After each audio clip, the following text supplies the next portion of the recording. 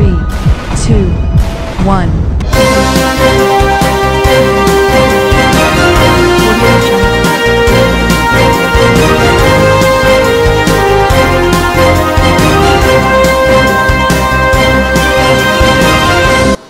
नमस्कार मैं हूँ नरेश राघानी और आप देख रहे हैं हॉराइजन न्यूज़ आइए देखते हैं आज की हेडलाइंस राज्य स्तरीय टेबल टेनिस प्रतियोगिता का हुआ शुभारंभ। तीन दिन चलेगी प्रतियोगिता। 300 विद्यार्थी ले रहे हैं भाग। भाजपा किसान मोर्चा की बैठक में लिए गए कई निर्णय। आने वाले लोकसभा उपचुनाव को लेकर बनी रणनीति। नेताओं ने कहा, हर हाल में जीतना है लोकसभा का उपचुनाव। कलेक्ट्रेट में हुई ऑनलाइन जन सुनवाई पंचायत समिति अधिकारियों को दिए गए निर्देश। बड़ी संख्या में समस्याओं लेकर पहुँचे लोग जन सुनवाई में।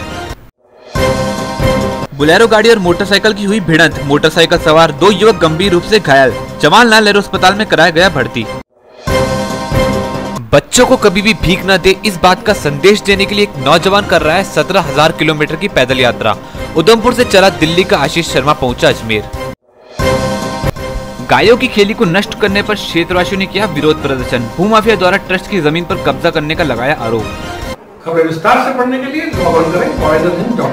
सच के साथ।